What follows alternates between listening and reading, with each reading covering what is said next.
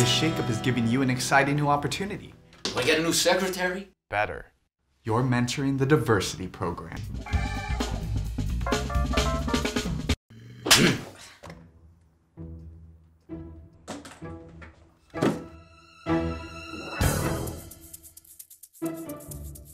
Jesus, it's like Mother's Day at Mia Farrow's in here.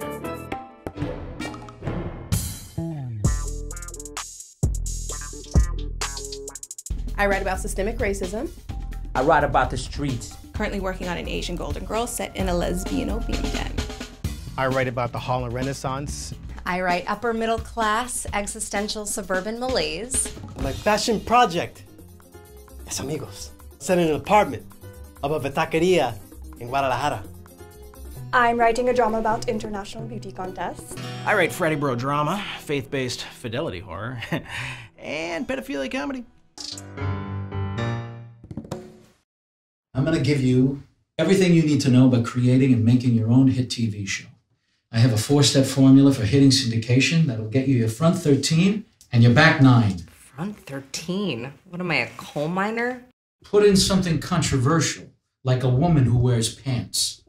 But if you're going to go controversial, remember point four make sure you have a supporting character who's a hot piece of ass like Donna Reed.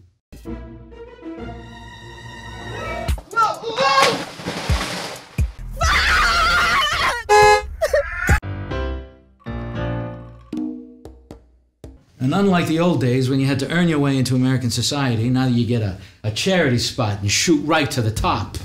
Can I go to the bathroom? You can do what you like here, for Christ's sakes. What are we, a room full of secretaries?